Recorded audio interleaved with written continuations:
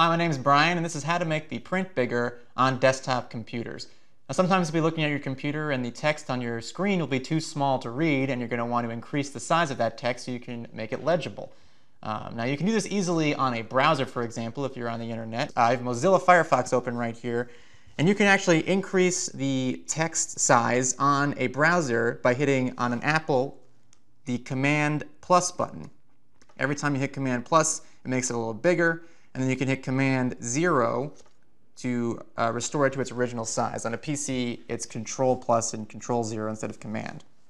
Uh, now, on the desktop itself, let's say you're not on a browser and you want to make just the desktop more legible, you can go into your system preferences and change the screen resolution.